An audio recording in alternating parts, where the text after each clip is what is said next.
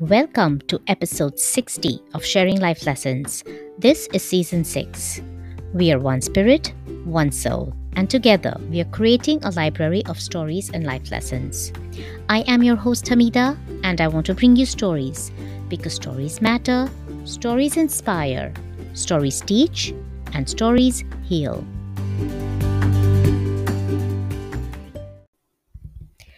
Listeners, this is the final episode of season 6.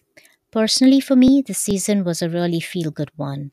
We had a wide variety of wonderful guests a soul coach, a prison doctor, a young and lovely lady suffering from schizophrenia who started the Mental Awareness Month for us, a guest from Colombia who both spoke to us about burnout and relationships, and three back to back episodes with Dr. Amin Daya, a thought leader with a deep understanding of spirituality who conducts free masterclasses on meditation techniques and who gave us so many stories from his life with valuable life lessons that it seemed like his entire life was playing out in front of us.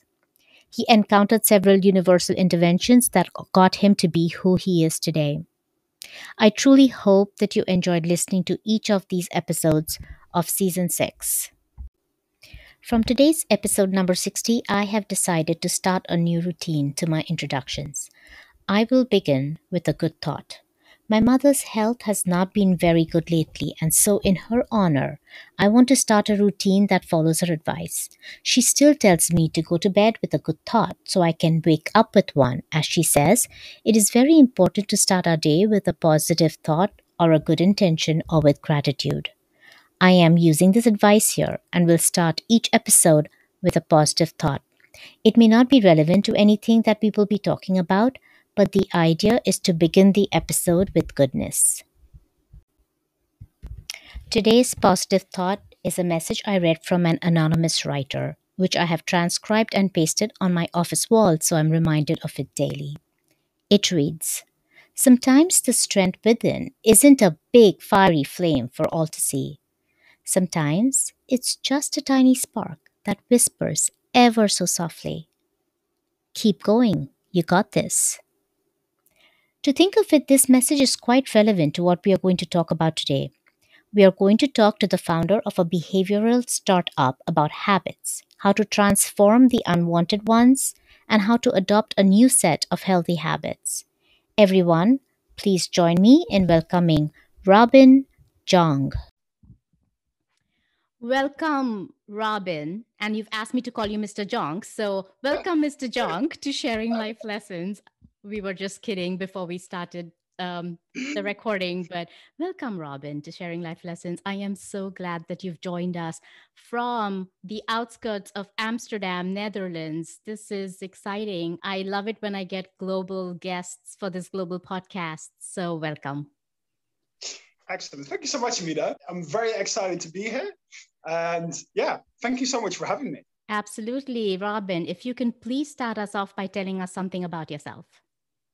Yeah, of course. I'm Robin. I am Dutch, currently in the Netherlands, but I actually spent most of my adult life in the Middle East. I currently run a, a behavioral science startup that focuses around helping people to establish healthy habits that actually stick. We all know that habits like healthy eating, exercise, meditation are good for us, but there's still so many people that find it hard to make them stick. So yeah, I decided to change that. That's amazing. Okay, so is there a website that you're going to give me to put in the show notes that people can reach you at if they need to?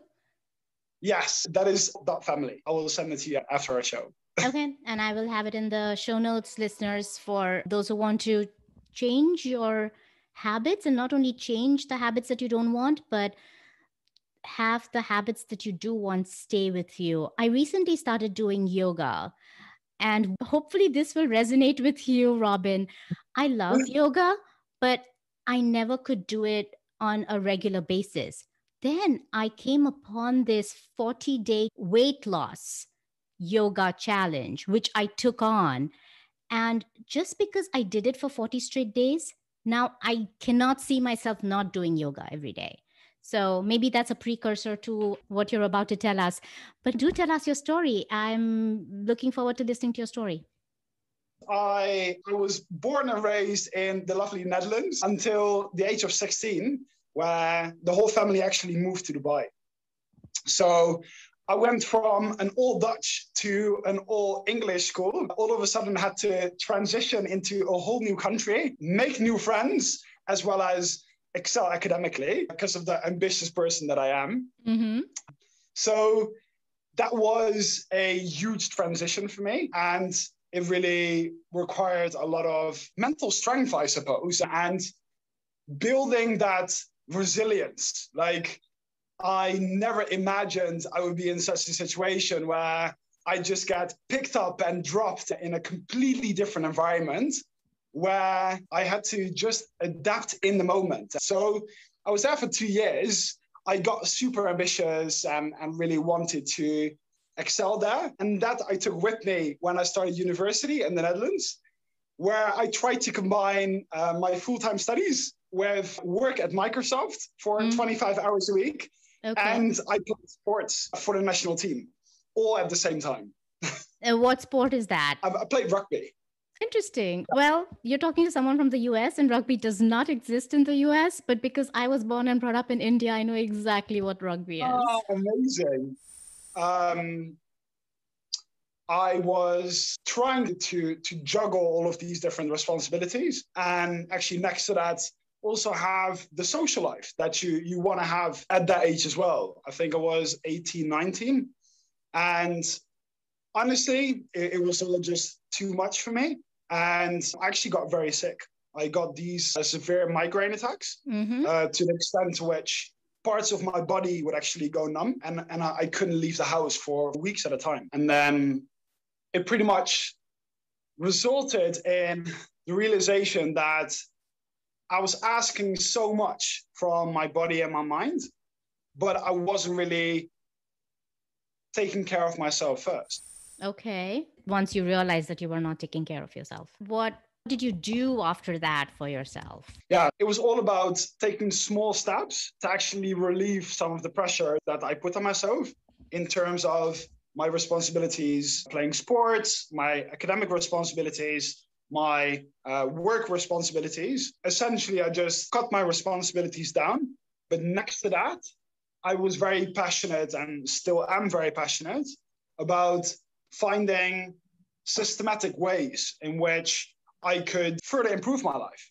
Mm-hmm. And to me, actually, habits were and actually still are an amazing solution to that. Okay, so before we go any further, let's start with Habits 101. Robin, what is a habit and how, not even how, why does a habit get formed?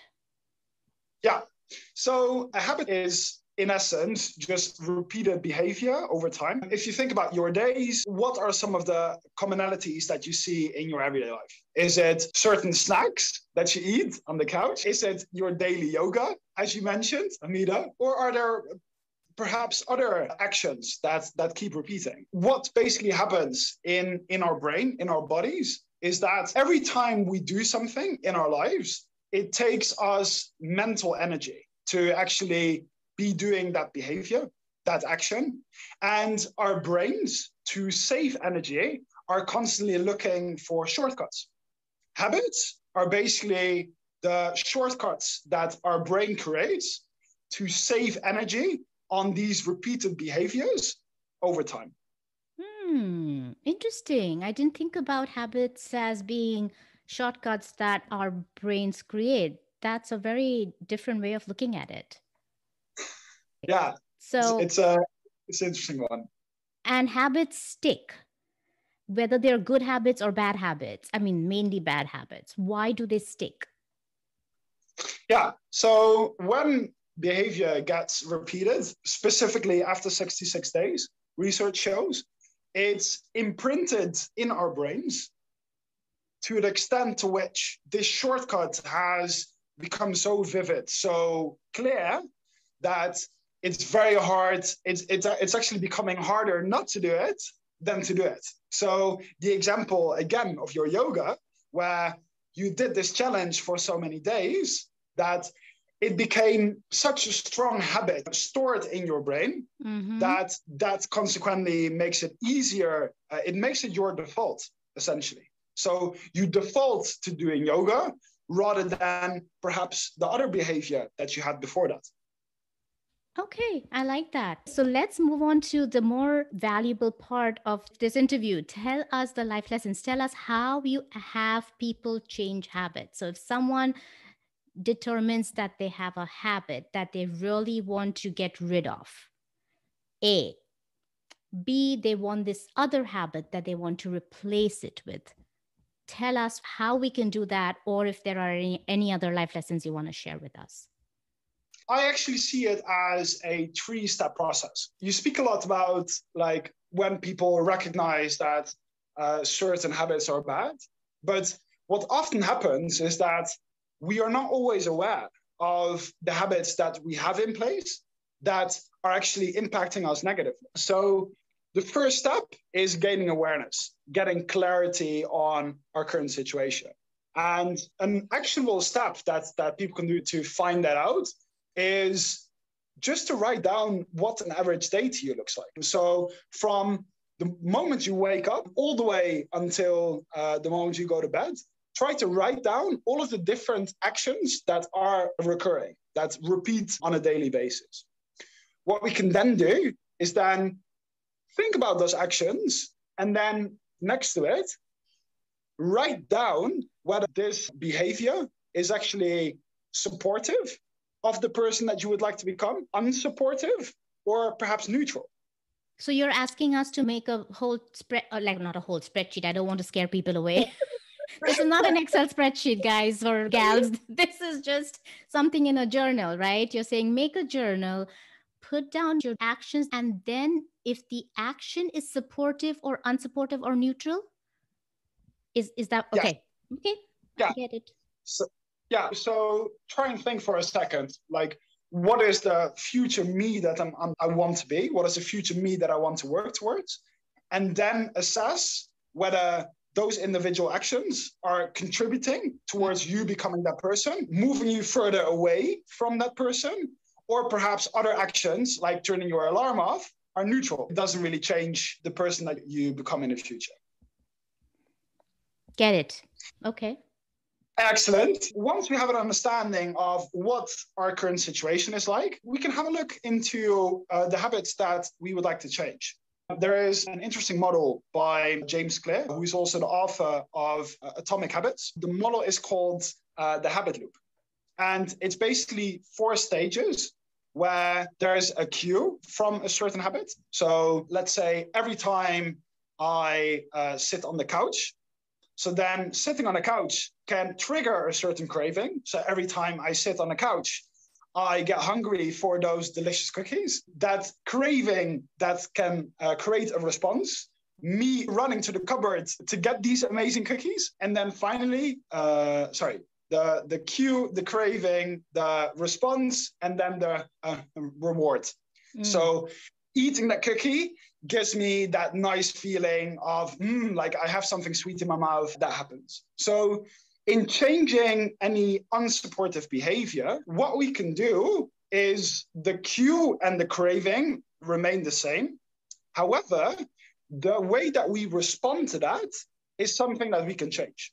Hmm. So in this case, we have the cue, we're sitting on the couch, we get a craving, oh, I'm hungry for something then instead of going for the, the cookie with perhaps loads of sugar or other things that are, aren't necessarily positive, we can go for an option that, that does support our goals, like salted popcorn, for example, or perhaps a piece of fruit.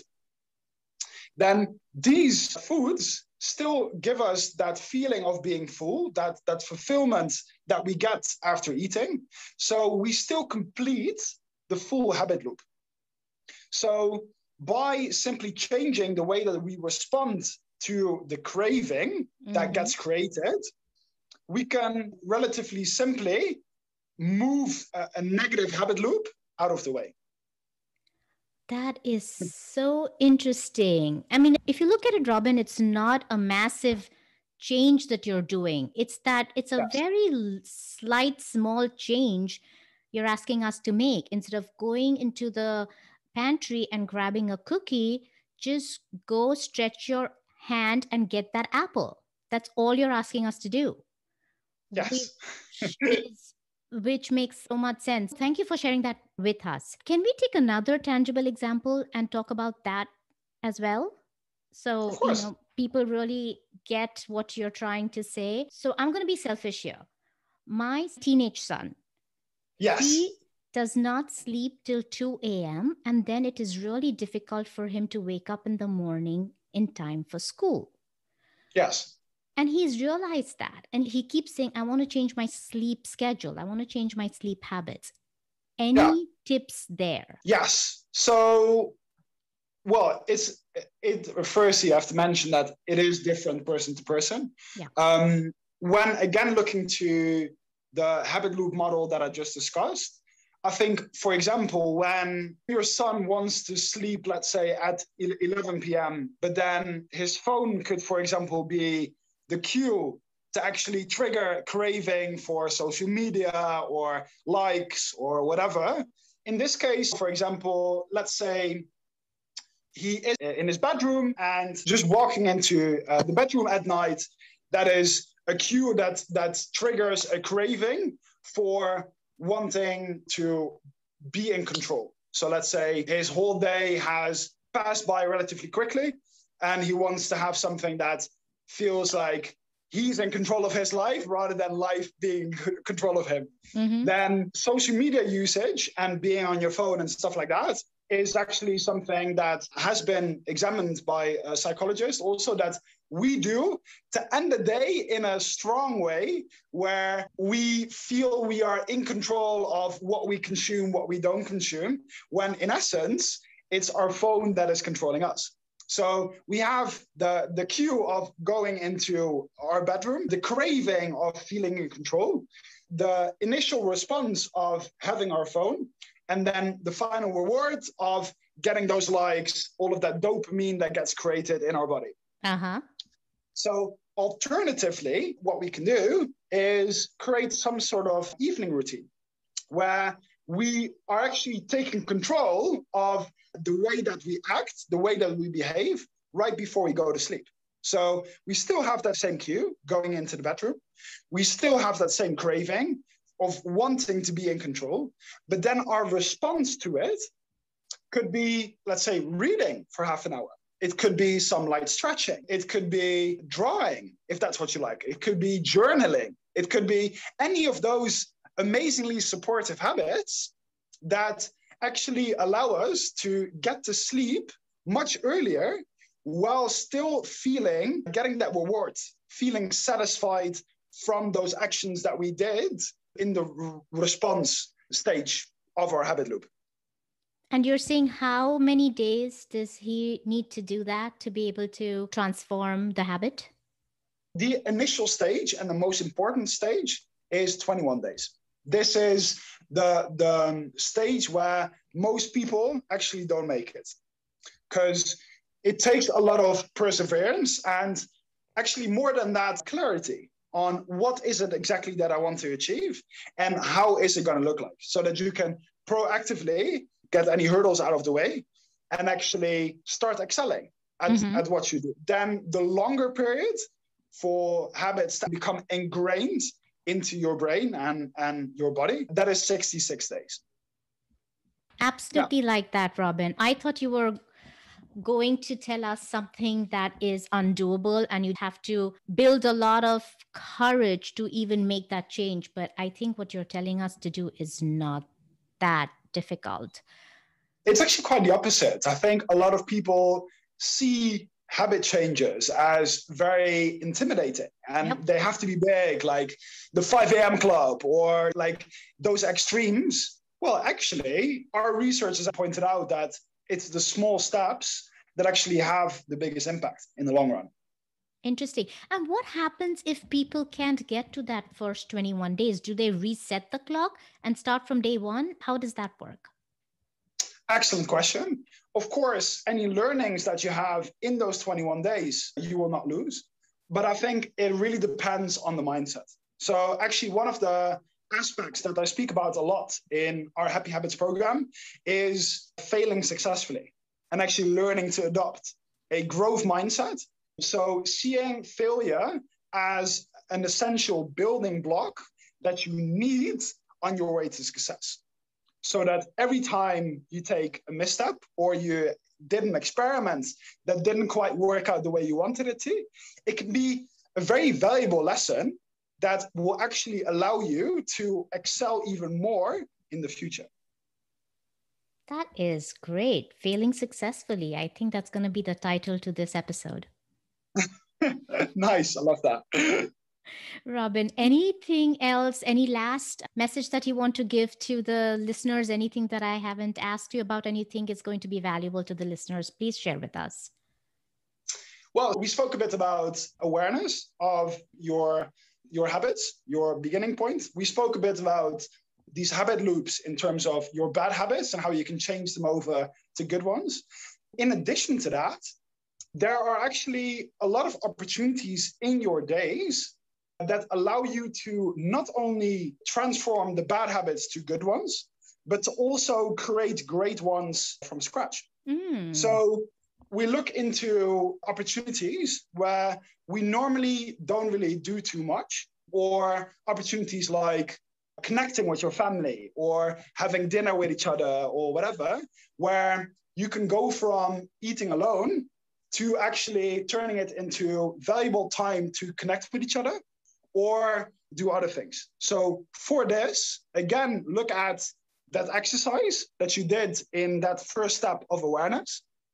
Look at the things that you feel are the most supportive in your days and try to see where you can create time to create more of that in your days. Like that. So it's not only about getting rid of bad habits, or transforming bad habits into good habits, but also creating these set of good habits that will only bring value to your life. Yeah, for sure. Like that. Thank you so much, Robin. It was so great talking to you and getting all these valuable habit lessons from you. Hopefully, the listeners are going to be able to use them. Amazing. I am very much looking forward to that. I hope it was valuable for the listeners as well as for you. Mira. And if anyone needs any additional support, always remember that I am just one message away. Very happy to help. Thank you so much for having me. Robin, thank you so much for being here. I appreciate you. Hope to see you sometimes in person soon. That would be amazing. Thank you. Listeners, I found this discussion very informative, and I hope you did as well. What we learned from Robin are tools regarding transforming unwanted habits and adopting healthy habits that we can start using immediately. As always, here are my key takeaways from this discussion. 1. Habits are shortcuts that our brain creates to save energy on the repeated behaviors over time. 2.